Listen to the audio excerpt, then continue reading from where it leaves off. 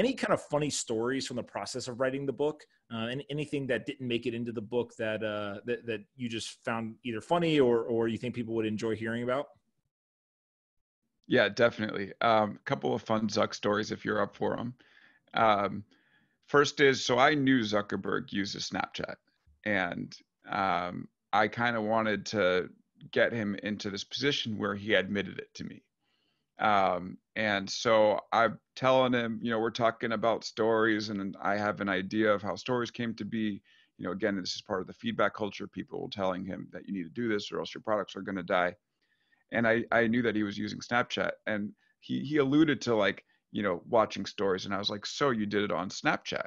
And he goes, well, and Instagram. And I was like, but you use Snapchat? And he goes, yeah, but I use all of our competitors' pros, uh, products. And then he said, um, he said uh, he um, was uh, when Facebook was starting to experiment into the dating app scene.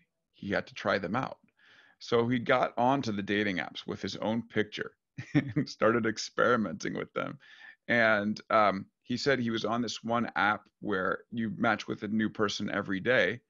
Um, and he thought it was a cool looking app. So he showed it to his wife, Priscilla. He goes, Hey, Priscilla, check it out you know, here's this dating app that's pretty interesting. And she looked at the person on screen and was scheduled to have dinner with her the next night. So anyway, it, it it's kind of one of those stories where I'm like, okay, I'm sitting here next to Zuckerberg and he's telling me he's using dating apps to meet his wife's friends. That's interesting.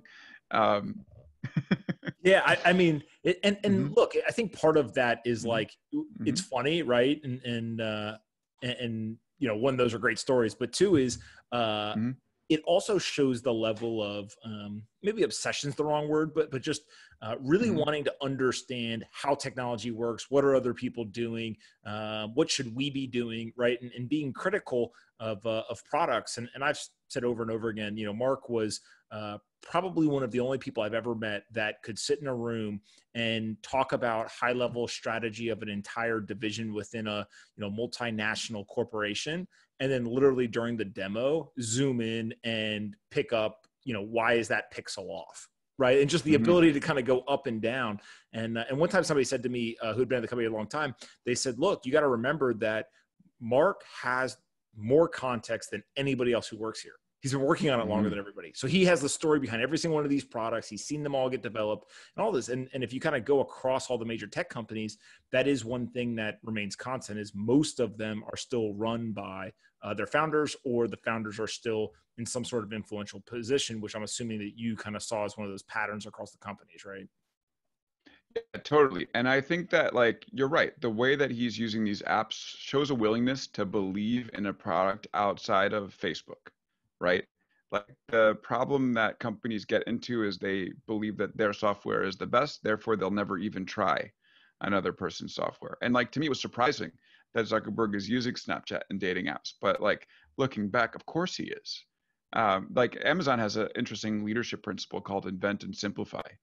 And the idea is, um, you know, you invent and then you build systems to make sure you're not spending too much time supporting that existing product. But they say explicitly you know we don't have this um, dedication to building to using stuff only invented here. If something was invented elsewhere we'll use it and we're going with best of breed. You contrast that with microsoft. When steve ballmer was running microsoft you couldn't bring an apple product into the campus.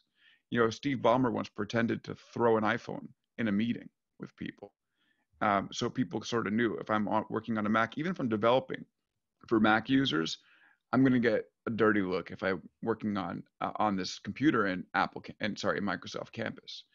And I think it sort of shows when you have a willingness and an appreciation to ideas from anywhere, when you have a willingness to admit that other companies are developing good software and you want to learn why they've done well, then you're going to be in good shape. But when you want to um, sort of, you know, again, look and protect your asset and think that that's the only thing that matters in the world and that all your competitors uh, don't have a chance in the world, that arrogance ends up leading to bad business outcomes.